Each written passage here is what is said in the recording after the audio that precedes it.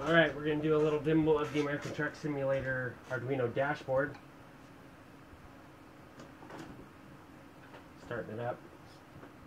Tachometer goes straight to set RPM. Reverse.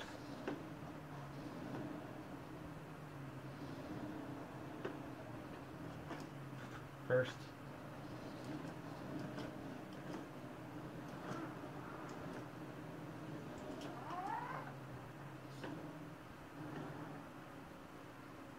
Get some speed up.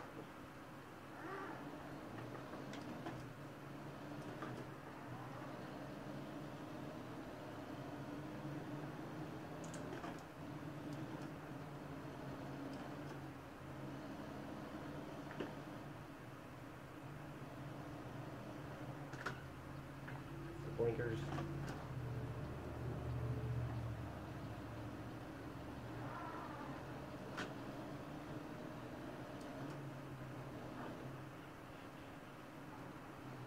Set the parking brake.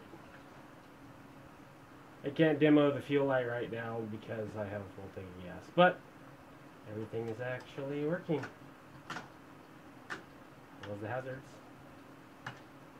The cruise control light is also set up to work.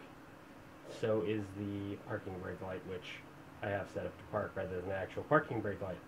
But there's a quick little demo. I'll show you the back side of this. And that's pretty much how it works. I'll have a full wiring diagram in the zip as well. So anyone else that's looking to wire this up, it'll be pretty straightforward.